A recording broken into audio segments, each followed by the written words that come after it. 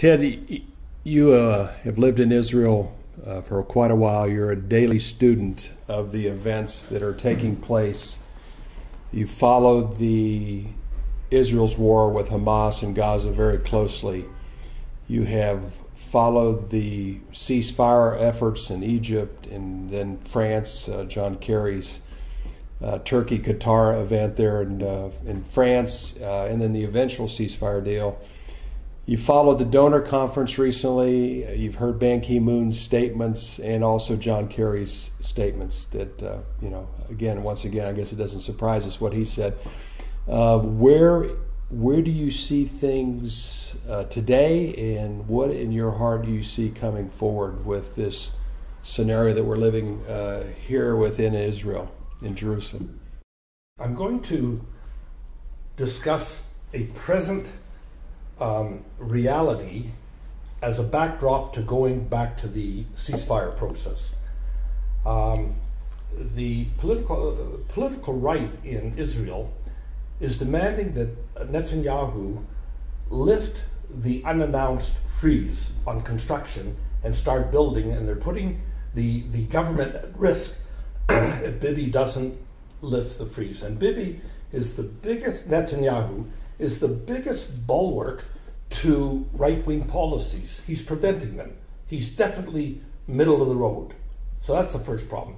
And he's, in answering to these people demanding that he build, he says, we can't build because of international constraints.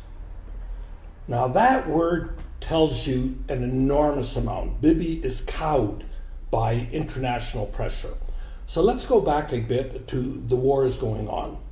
Uh, Obama played more hardball than the media let everybody know. And not only did he shut down Ben Gurion Airport for a day, unprecedented in any other country, in any other situation similar, but he put an embargo effectively on the resupply of Hellfire missiles, I think they were That's called. correct. That's right. But it was an embargo on all resupply not just the missiles. So here, Israel is trying to fight a war and making policy, and ultimately, uh, Bibi took a lot of flack because he accepted a ceasefire.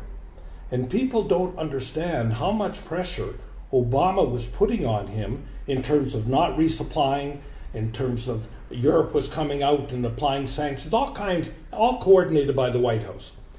So my feeling is that when Bibi's ending the war on what many people feel was a bad footing, we didn't finish the job, we have to lay at Obama's doorstep.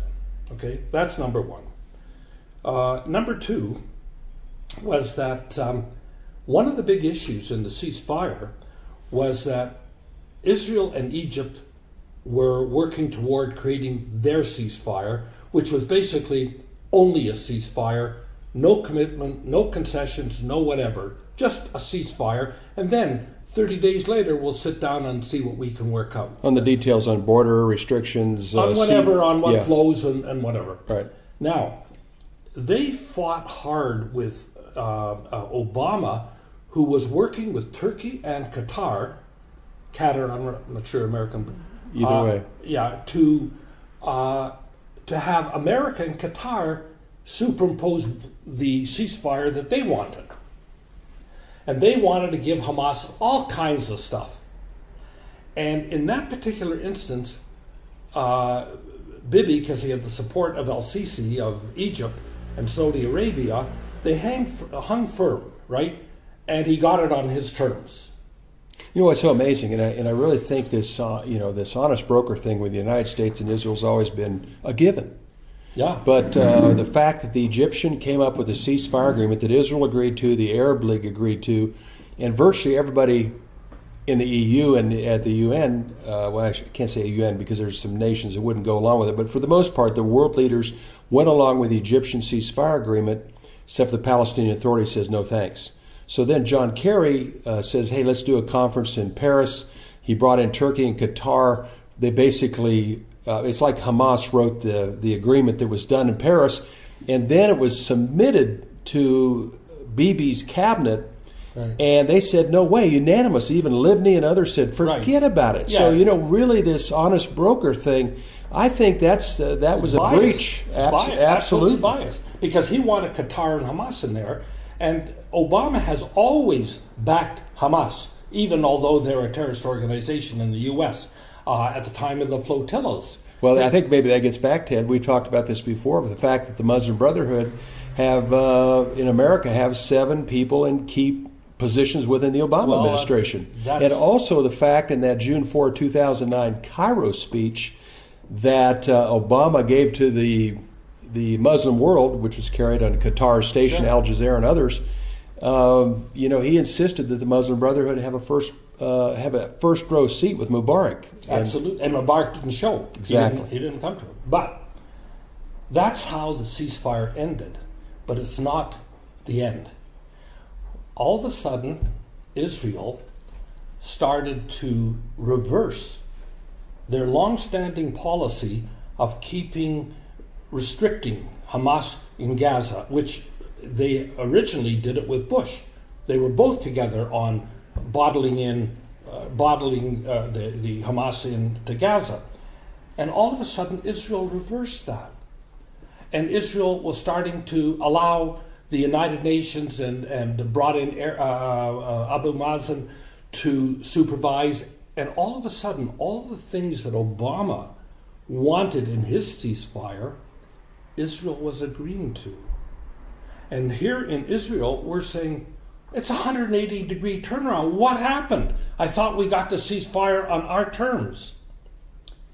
So I think that after that happened, after Israel got it on its terms, Obama really put the screws to them and recovered. So they set up the donors conference and 2.5 million, whatever, and all of a sudden Israel is changing their entire policy. And another thing Israel was adamantly against or the 5.4 billion. Uh, Israel Ultimate, was, yeah. Israel was adamantly against the reconciliation between Hamas and uh, and Abbas and Fatah, and all of a sudden they weren't against him, and that's Obama again. And I am sure, like it's such a 180 degree turn. I am sure that it's Obama not giving up, and then Kerry comes out with his oh, it's so important. We got to have the peace of blood, and on and on and on. Now, I have a friend who's a professor in Mexico. He studies this all his life. And he writes to me, he says, Ted, you've been writing all the time that's the end of the two state solution. And then he says, look at Kerry and look at this. And I, I said, as far as Israel is concerned, it's the end of the two state solution. Now, they did a poll recently, recently in Israel. I don't know if you noticed it. 75% of non Arab Israelis are against the two state solution. yes, yes. Dramatic numbers. And also the splitting of Jerusalem. And yeah, uh, well, I, I shouldn't have just simply said the two state. They're against the two state solution with the 67 borders and swaps, or with the division of Jerusalem, or with Israel pulling out. I mean, they, those are red lines. 75% is enormous majority for a fractious Jewish community where you always have, you know, six million presidents, as they say. So, uh, and then Bibi comes out with a statement. He's got this uh, uh, freeze. What is the freeze all about? Why is he? There's The, no. set, the housing freeze in the settlement communities of Judea. yeah, scenario. if you think about it, we were given the choice at the beginning of about a year ago, at the beginning of the uh, of the nine months, we were given a choice of in order to start negotiations, we had to make a concession, which boggles the mind. Who has to pay somebody off to sit? I mean, it boggles the mind. But this is the demands that they're putting, and we had a choice between releasing uh, uh, prisoners with blood on their hands, or doing a freeze. So Bibi staunchly said that um, we're we're not going to freeze and we're going to release prisoners instead. So he releases the prisoners and then he freezes anyways, except then with an official freeze. This shows you how weak Bibi is. Although he's a wonderful foreign minister, he goes to the States, United Nations. Everybody in America loves him, Yep. but he's too complacent or compliant. He's too he caves all the time. He doesn't stand strong, and uh, it's that's what we're up against. You know that scenario there is. I remember uh, former ambassador to the U.S. Michael Oren. Yeah. Uh, just before the ceasefire talks even began in Egypt, uh, this is uncharacteristic of him. He basically told John Kerry, "Stay home," and Yeah. you don't have a history of really any success in the Middle East, and we don't need your help right now. And when and right about right after that, that's when we had that 24-hour freeze on Ben Gurion Airport. Yeah. That's when Senator Ted Cruz says, "I want the notes. I want to know specifically Who gave the order? who gave the order, how it was done. I want the chronology."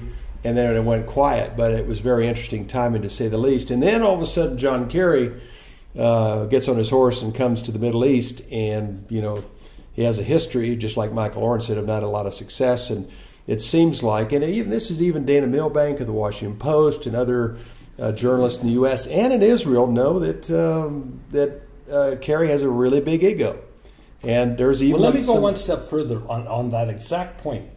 Here we have America giving Israel advice all the time, and Europe giving Israel advice all the time. What have they done so right that gives them the right to give us advice, and why should we follow their example? Very well put They've put. screwed up with everything. Very well put. You know, if you look at Europe, look at the problems they have with the Muslims in their society, and they want to tell us how we should organize our society here.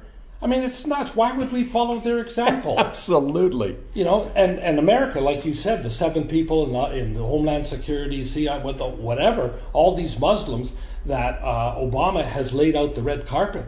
And not only is he allowing thousands of illegals to come in uh, through the South, he has invited Muslims to come in, I think close to 100,000 a year, and green carded them and, and whatever to get more Muslims in America in order to affect American policy more.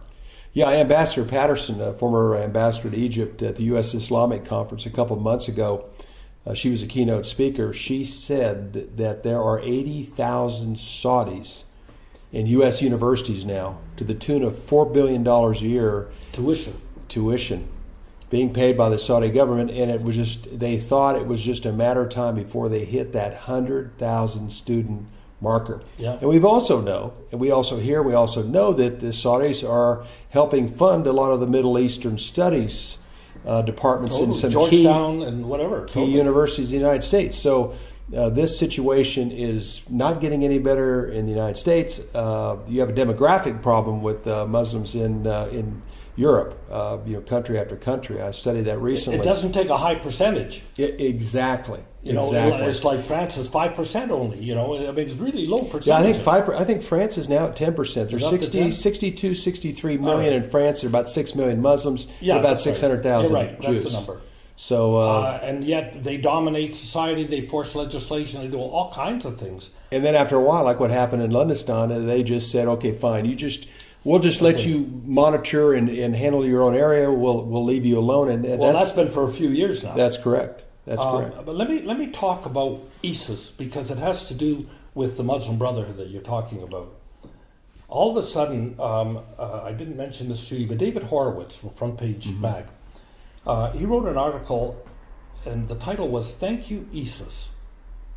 And what he was saying, he says, for years, he and his type have been trying to alert Americans as to the danger of Islam to Americans and couldn't get any traction. But because of the beheadings of ISIS, they're now getting attraction, attraction, and Americans are waking up to just how brutal the, I could say, extreme. This is Islam, mainstream Islam. Correct. You know, this is in the Quran. This is basic stuff. Well, it's it's uh, they're following Muhammad's pattern. Totally, totally, and the, and they're commanded to do that. So, and I say, you know, unfortunately, America's focusing on the danger, on the violent jihad, and they're totally asleep regarding the stealth jihad in America. And I think the stealth jihad is like a Trojan horse and is far more dangerous to America than the violent jihad. Yeah, I I, think I I agree. I remember how uh, right after 9/11. I mean, literally, uh, and I read a couple different articles on this. Seven out of ten Americans were depressed and could even be considered clinically depressed by what happened on 9/11. Wow. Soft underbelly. Uh, Mm-hmm. If we'd had another event or two after 9/11, it would have been really hard. Uh, I remember when they had the uh, the shoe bomber incident. Uh, that was a close call, and then the American Airlines plane blown up uh, over Queens as uh, Yasser Arafat sitting there at the UN. Um, you know, a lot of Americans were really concerned that this uh, this might be the end of air travel as we know it in America. There was a lot It of was in a sense. Uh, Look at all the you know for- shoes and this. Oh, for, and that. absolutely. For a while, you know, one shoe bomber tries to take down an Sure. American Airlines flight out of Boston or outside of Boston, and you know, three, four, or five million shoes have been taken off ever since. So, uh, you know, it's a situation where Americans, unfortunately, have a soft underbelly, and I know there's a lot of concern about this issue. And I think, obviously, the greatest concerns in America is a series of, of terror events. So we're already having a few uh, whether it's at Fort Hood or whether it's in Oklahoma City or outside of Oklahoma City the other day.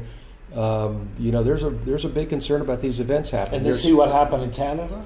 And- Yes, and as far example. as Americans, there's no difference. that's right. If it's going to happen there, it's going to happen in America. No doubt about it. No doubt about it. And I think the uh, Americans are beginning to wake up that uh, this could be a very significant problem. And, and obviously, a lot of uh, I was reading the uh, White House press report from the last um, uh, press uh, press briefing, daily press briefing, and the the major media were really hitting uh, the White House press secretary.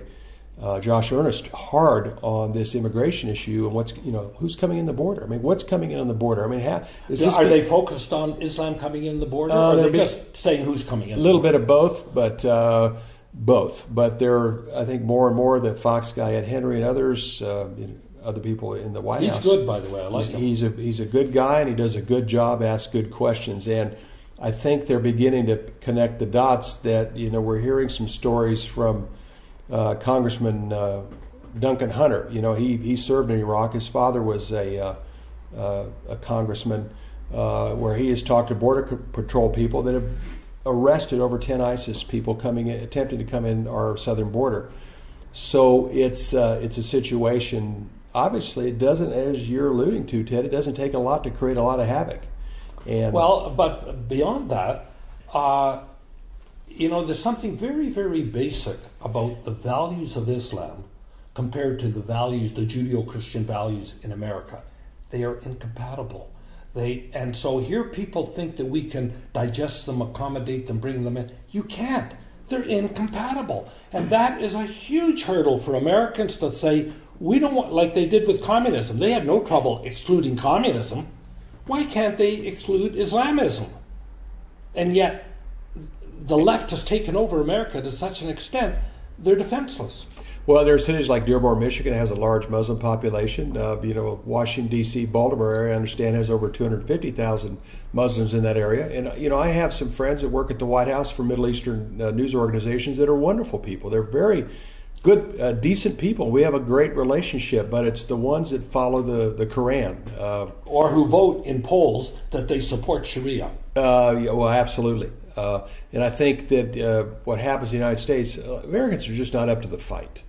And, and those that are attempting to infiltrate America, whether it's through the teaching of some of the mosques, Yeah. um, they realize that Americans are just not up to the uh, up to the fight. Uh, we're seeing some uh, situations You know, in the so much easier to understand the 30s when Hitler was arming and Hitler was pushing, and nobody wanted to. They didn't have the stomach for the fight. It's the same thing. People don't want to, and I understand that. Yeah, oh, yeah. I understand that. But reality tells you that you got to take a stand and you have to draw your line. Well, And And I think that's what's unique about Israel. Israel has the attitude we can't defeat them, so we have to manage them. We have to manage the right. manage the problem. And I think they've done it very effectively. They understand it because this is their neighborhood. Uh, there's but- still a lot of voices oh yes, calling for defeating them. yes.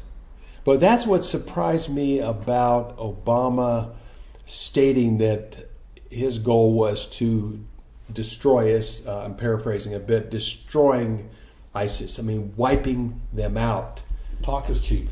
You know, it is, but I wonder, Ted, that's uncharacteristic of a guy that's very politically sensitive to how he speaks and the words he uses, because that's almost like using a sports term. That's locker room bull, bulletin board talk. When you're playing a football game against opposing team and someone from the opposing team says something about you and you put it in the bulletin board to motivate you.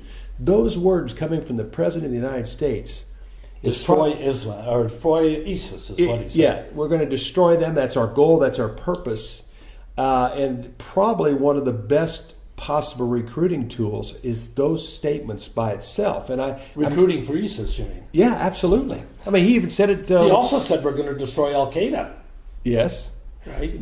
Not quite as is uh, yeah he did, but it, this one seems to be a bit different. And yeah, because they've acquired a lot of territory. Well, a lot of territory, and they have the weapons, and, and they, have, have the, oil, and, and, the and the oil and the money, and uh, there's even concerns that they pay, they are inside the U.S. I mean, that's obviously a, a great concern. Um, obviously, Israel's got a, um, a, a, northern border that started to heat up. Uh, there's been some concerns lately about um, Hezbollah situation, although it's kind of interesting, is ISIS is basically acting like uh, Hezbollah is just nothing. They're nobody. We're going to wipe them out. So that that could be an interesting conflict in itself. But uh, any feeling, Ted, one way or the other uh, about the situation on Israel's northern border, possibly into Lebanon, Syria? Well, first of all, first of all, when you clear away the fog about ISIS and how they got started, and and all the America has to say we're going to train Iraqi. Who trained ISIS? Well, well nobody trained ISIS. Yeah, that, that's right. That's, that's that's like I'm going to have a royal commission to study the problem. it's it's putting it away. Who trained ISIS? Nobody. Well, exactly. The United States did train the Iraqi military 20 uh, 65,000 soldiers. Yeah. $25 billion and ISIS comes to town. They go into hiding, throw out their uniforms, and or join them. Uh, That's absolutely. An example who would follow American advice? And here, America and Europe thinks that Israel should follow their advice. I mean, it's, it's bizarre.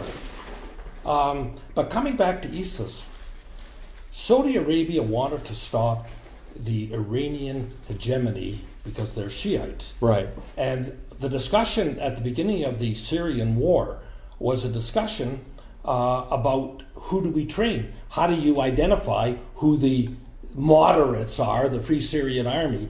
And America doesn't know anything about who's who.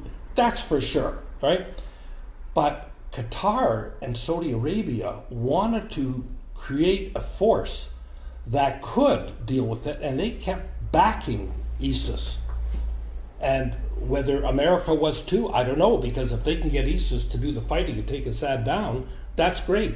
So I think America is ambivalent about do they want to wipe him out or do they want to let them wipe Assad out before they wipe him out? And then you can throw in the Turkey component too, that would like to see Assad overthrown.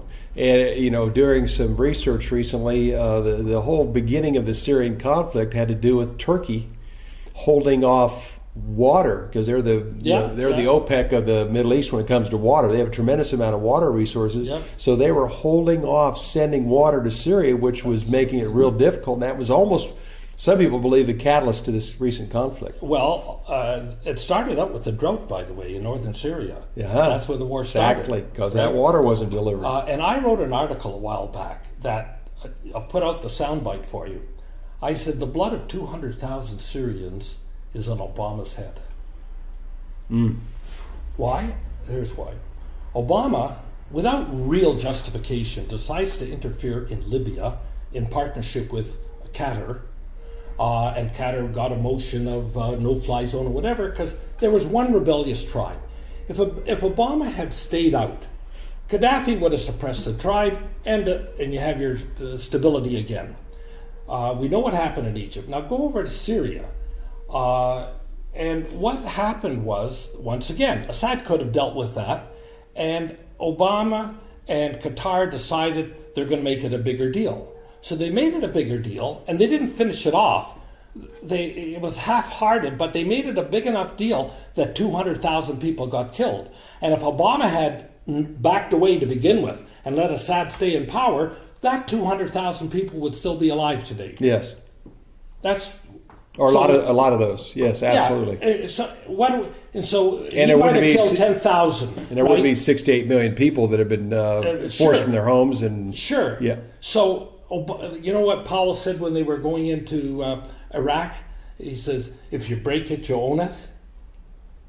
This this is pr- prime example, and so as a matter of fact, uh, so that's an article I wrote, anyways, indicating that uh, Obama was putting his weight into instability rather than stability. Because stability, you support Assad, you support Mubarak, you support. But he wanted instability, and he wanted the Muslim Brotherhood to take over. And Turkey is aligned with the Muslim Brotherhood and Hamas, and Turkey is the Ottoman Empire, mm-hmm. and Syria was part of Turkey yes, right? And what a way to get it back. And as we know, uh, Erdogan was Obama's newfound best friend, right? A few years ago, he, Yes. he praised him. absolutely. First uh, first public speech in the Middle East was uh, April 2009, uh, when Erdogan gave Obama the opportunity to speak to the Turkish Parliament. That was Yeah. the speech when he said Islam. Uh, there are moderate is, uh, moderate Muslims, and that's when Erdogan rebuked that statement. But you know, and Erdogan does not like the Kurds, or especially the PKK. You know, that's been up at Kobani. That was the big issue right there on that border issue. Right. And you know, NATO is saying, "Hey, Turkey, get your tanks in there, get in there and do something." do but they, they didn't. the NATO issue is, a, is an issue that we'll, we'll leave that aside. But something happened today of interest. Now, you mentioned that the PKK in Turkey, they're there, and they've had a lot of fighting in the last three months, and, and the peace process, so called, uh, disintegrated because of that. Um, uh, or maybe the, the, the peace process disintegrated before that, and that's why the violence was there. But Turkey has been cultivating relations with the Iraqi Kurds. Okay? Oh, a, a very Big time subs- business, substantial business. substantial. Yeah, right? absolutely. So he's, now, just today, might have been yesterday, uh, there was an announcement that the Iraqi Kurds were going to be permitted by Turkey to come into Kobani and support the Kurds there. Very interesting. So that's more the Peshmerga uh, Yes. Kurds rather than the PKK, which are considered right. pretty. And part and parcel Very interesting, that very interesting. is the resupply of weapons because they don't have the weapons to fight. Yes. Even if they had the map, they don't have the weapons. Absolutely. So America started with the weapons and screwed that up also, uh, and they want us to take their advice. so uh, yeah, by uh, dropping the weapons to the to the ISIS uh, Islamic State rather than to where it was supposed to go. Well, uh, At least some of they've it. only owned up that. Oh, Yeah, owned up one. to part. Yeah, one one drop, I guess. But, But, but in any event, that's good news. And, and if that news includes the ultimate creation of a, uh, a Kurdistan state, that would be a great success. And Kurdistan could be an enormous ally of America and of Israel because they're pro American, they're pro Israel, and, and Obama's been against the Kurdistan and state. in a really a lot of ways they already are allies i know there's Oh, a yeah. Uh, you know it was interesting i met some of the kurdish leaders in washington about 10 12 years ago and they sincerely when i talked about israel they could sincerely uh, see the favor in their eyes about israel they really liked israel they For liked many it. decades. Uh, this goes back it's all the incre- way. It was incredible. I saw that firsthand. I was really impressed, and and the fact that uh, my Christian friends who do work in northern Iraq uh, really, really like the Kurds. They love them. I mean, Yeah, even to the they're, extent of they're really, somewhat modern. There's Sharia law. Forget about it. absolutely very Yeah. special relation. We have friends that have been in and out of there recently in Erbil. Uh, That just really love the Kurdish people. So, and you know, it's always ironic is that the Turks are about business. You know, a lot of their relationships are based on you know can we make money off this and and the Turks have made a tremendous amount of money uh, trading with the Kurds that have a lot of oil uh, oil money up there in uh, Right. northern Iraq. So yeah, that could be really interesting. I know the Iranians don't want to see an independent Kurdistan. I mean, or they just don't want to see yeah, it. because they got their own Kurds to Yeah, worry about. i- yeah, exactly. And then uh, if the Turks went along with that, boy, that that's interesting because you, we really have kind of a opposing caliphates here. You have the Iranian Shiite caliphate Right. Yeah. uh, with Hezbollah and Abbas or, or Assad, and then you have the Turkish caliphate uh, where Erdogan really sees himself as a future major Middle East leader. Yeah. So uh, that between It's either him or Obama. oh my, I well, say Obama wants to be the the caliph, uh, the caliph of the new caliphate. What else is he going to do after being president? So that's- well, wants to be the that's what's so interesting because I, I know that uh, you know a big problem was the U.S. weapons were going to uh, Maliki and they weren't ending up in the Kurds' hands. That was part of the plan. Is you know we give the weapons to Maliki and he will distribute them to the Kurds, and he wasn't getting it done. He wasn't doing it. So. Uh, I think we're distributing directly more and more to the Kurds now, which is essential in order to be able to. 100%. You know, they're great fighters if they have the equipment. That's right. Absolutely. very- That's the answer that Obama's been avoiding. Now he's just starting. And I think what's been happening is there's all kinds of political discussions going on. And part of those discussions are with Iran. Because I just read a statement this week Iran committed to Maliki and the Shiites in Iraq. Don't worry, we're going to defend Baghdad for you. They've got a vested interest in stopping ISIS from taking over Baghdad. Absolutely. And we don't hear any of that. No, no, and it was interesting is because Iran was basically looking at the United States and and the allies to basically do their battle or do their war for them, and it ha- Exactly. they haven't been very effective. So all of a sudden, Iran's worried about Baghdad and also worried about Assad's future. I That's mean, he, right. he could be taken out at any time. and and America because they are kissing up to Iran. They are maybe turning 180 degrees and they want to cut a deal with Iran and they want to, to deal with the. It's a mess what's going on. it's a disaster. It really is. I mean, this is one convoluted, complicated Yeah. mess. Yeah. And uh, I had a good visit with Mordecai Kedar the other day, and he was talking about, you know, he's the, as you know, Ted, you know Mordecai, uh, talking about the tribal factions throughout the Middle East, and we have a lot of tribes fighting each other. And he talked about the United Arab Emirates. It's been successful because one tribe controls a city or an area. And That's what he believes in. Yeah, and, and, and, he- and it's really when you don't have opposing tribes fighting each other, you have somewhat order. A lot of order yeah. because the clan system, the Yeah. tribal leader, everybody obeys. right? Yes. Now, I just read an article today from Professor Inbar, Ephraim Inbar. Uh, that's a BESA Institute, and he was talking about the uh, uh, the British French plan to create states in of the former the Ottoman Empire. Right. And they had absolutely no idea what they were doing or should be doing. And ISIS now, and what's going on, everything that Britain and France created is finished. Uh, so the uh, Sykes, uh, the, the agreement. Sykes-Picot. Yeah, Sykes-Picot uh, agreement. Everything is wiped out. All the states that, that that agreement established Yeah. is in total chaos. There's, I mean, th- there's no such thing as Iraq anymore. There's no such thing as Syria anymore. And what's happening is dividing into these ethnicities. It's not down to the clan necessarily, but it's certainly uh, in terms of Shiites, in terms of uh, Sunnis, uh, and this, they don't breach opposition or um, uh, they are so committed, the, the Muslims, to unity. This is the whole system. Is everybody has to, you want to leave the religion, will kill you. Like this is very authoritative and sort uh, authoritarian, and that's what they're all about. A strong leader. That's what they're all about. And they want a strong leader. They don't want democracy. They don't want our values. They don't like our values. So uh, what's happening now is that they have unity among the Sunnis or unity among the Shiites. They love unity. They don't want any discordant note, right? And so this is what's happening, and this is what Britain and France learned a lesson. And this coming back to Israel is that I even wrote an article about, and it was not easy to write, being a Westerner myself. Uh, separation versus integration. Now, if you go to America, everybody talks integration, multicultural, blah, blah, blah, whatever. And I said, well, we don't live in the Western world, we live in the Middle East. And maybe the answer is separation, not integration. So we shouldn't take an American value. For instance, uh, there was a community of um, uh, 400 Jewish families wanted to have a religious community. And an Arab put up by the various left wing Arab organizations made application to live in this community with his family. And it went to the Supreme Court. And Supreme Court was going to force this community to accept this Arab family in the community. Now, that is the law in America, but it doesn't work in Israel. It's too disruptive. And uh, so the idea comes along of separation.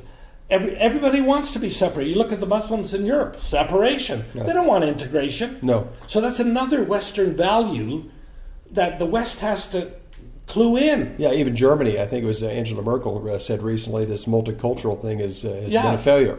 It hasn't Yeah. worked in our country. We tried it and attempted it, and it hadn't worked. And so everybody wants us to be like the Western. I said, I don't want to be like the Western. They're not so successful.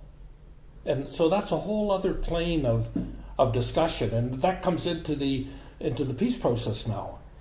Uh, whether they start it or not, it's not going to end well. Israel is not going to cave. You know, they just won't. They'll eat up some more time of Obama's term.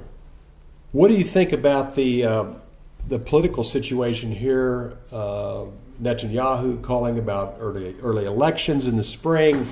Uh, the fact that he didn't agree to the conversion agreement that really infuriated some members of, uh, of his Yeah. ca- cabinet and uh, party. On the left.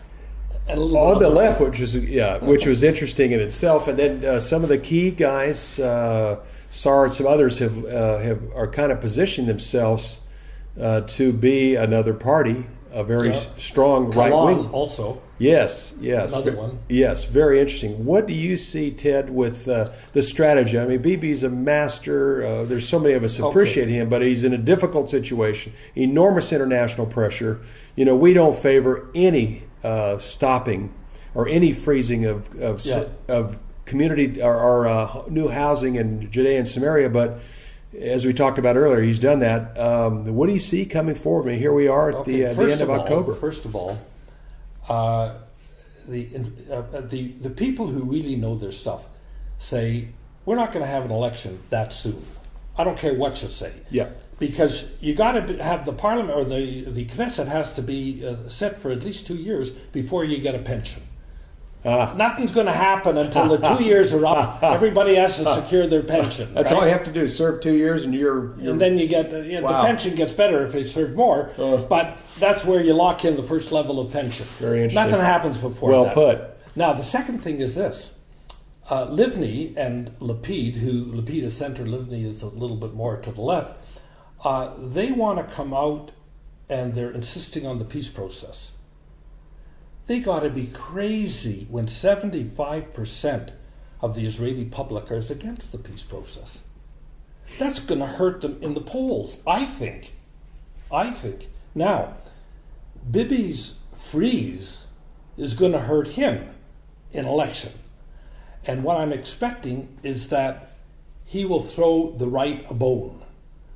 He will make some nice statements and he'll allow a thousand units to go or whatever, try to pacify them uh, in order to show his right wing credentials. But I think that Bennett is growing stronger and stronger. Yes, I, I think in the polls a few weeks back, uh, Lapid's party was plummeting. Yeah. uh, Livni probably wouldn't be back in in the Knesset.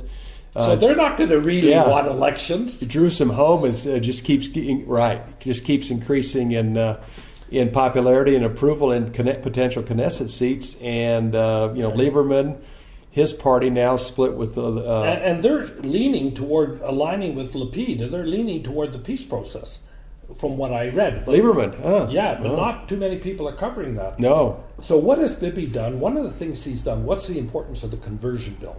Personally, I like the conversion bill. I want to undermine the rabbinate. Why do I like the conversion bill? There's 300,000 Russians who came in on the law of return because they have a relative or whatever that is Jewish. And I don't want to follow Jewish, very restrictive law for conversion, which turns the Russians off. And that means their children are not Jewish either. And I say, close your eyes, take all these Russians down to the Jordan, dunk them, and say, You're a Jew, you're a Jew, you're a Jew, and then their children can be Jews, right? I want a liberal conversion. This is a nightmare doing this. So that's where I'm standing. But the conversion bill had some amendments that made it halfway house, so to speak, And those amendments have been taken out, and it's, it's a balder ver- version of a liberal uh, notion, which has never been Jewish attitude to conversion. And um, what Bibi did, he went to the uh, Orthodox parties, the Haredi parties, and negotiated a deal with them for the future government, where he wants them in the government because they're more controllable. I'm going to give you whatever money you want and give you whatever rights you want because you're a minority. I can handle that, but you support me. And so they cut a deal on the conversion bill mm. in order to allow the Orthodox parties to come in and replace Lapid. That's been that's confirmed that they. I know there was a rumor that they were had worked a deal. Is it pretty much uh, well? What I happened? don't think it's signed. Not but, signed, but agreed yeah, to. I, I think it's agreed to, and Bennett is part of that deal, which is interesting.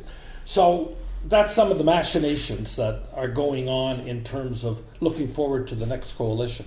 So, uh, as far as election, you don't see the spring, possibly the fall of next year. I don't see a challenge to Bibi. To he'll challenge to Bibi, yeah. I don't. I think he'll get in again. Um, he's certainly going to remain the head of the party. Uh, number one. Um, at the moment, they're calling him for maybe 25 seats. Uh, Bennett won't eclipse him. Yeah, he probably what high teens, 18, 19.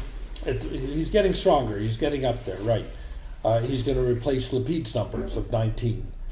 Uh, and that'll make the right very strong, and it'll all depend on the um, coalition agreement because they wheel and deal in this in the coalition agreement. You support this, I support this. This is what our policy will be here, and it's like developing a constitution for a country. Can't you, imagine. You have to agree on the principles that, so that removes a lot of fighting. And so that's what all the negotiations take is to agree on the principles of the coalition. And there's no way Bennett's going to be in the coalition if homes are not going to be built uh, east of the Green Line.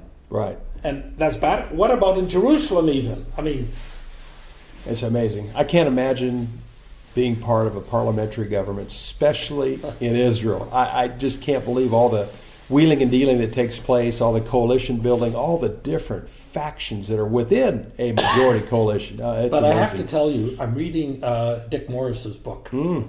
Uh, what's the name of the book again? About about Obama wants to one one party country. Uh, yeah, yeah, yeah. One part. I forgot what the title was. One party country. And Obama, for the last couple of years, has been harnessing more and more power, disregarding the law, disregarding the Constitution, doing whatever oh, he yeah. wants. Oh yeah, with executive orders and other things. Doing whatever he wants, right? So we get to think that Obama is powerful, but Netanyahu is more powerful. This is a shocker. Why? Because you have checks and balances. Even although Obama's trying this, yeah. you have checks and balances yeah. in America. Oh, that's right. That's and right. there's no checks and balances here. Yeah, especially if the Republicans get the Senate, it, will really be tough. Right. Yeah. I mean, they they'll gird for fighting because they got to fight in order to win 2016. Yeah. So uh, it turns out that Netanyahu, the prime minister of Israel, has more power because he can do whatever he wants. There's yeah. nobody to ride herd on him. Yeah, yeah, that's that's good. Something to think about. it is. Ted Belman, thank you very much. Great My, having you with us. My pleasure. Thank you. You bet.